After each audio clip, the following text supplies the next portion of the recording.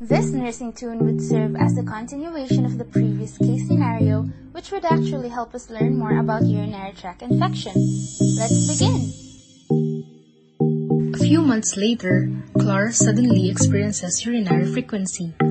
She urinates almost 7 to 10 times in a day, and most of the time, she is having difficulty in doing so.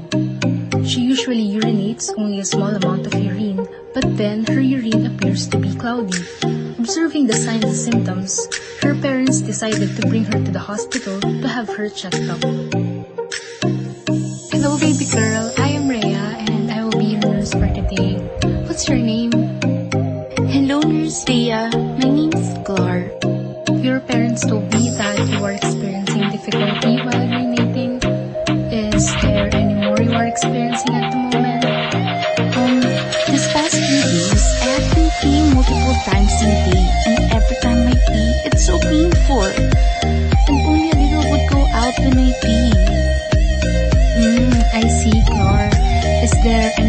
Else you wish to tell me? Oh, and also my stomach hurts so much. And when I look at my pee in the toilet, it looks so blurry. I remember Nurse Rhea when I used to pee, my pee looked, um, pale yellow. But now it looks so cloudy. Thank you so much, Clar, for the information and very detailed description of your experience. We will run some laboratory tests in order for the doctor to give the proper diagnosis. If there's any more you wish to tell me, do not hesitate, okay? I will always be willing to help. Thank you too, Nurse Rhea.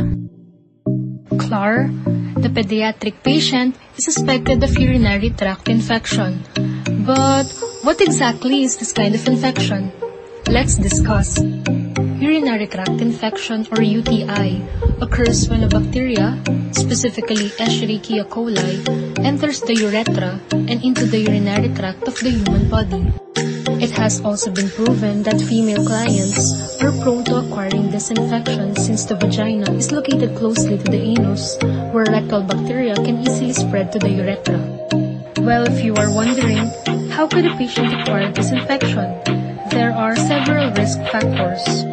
There may be a structural deformity in the urinary tract, abnormal functioning of the urinary tract, use of tight-fitting clothes for girls, poor toilet habits, improper wiping after bowel movement, and so many more.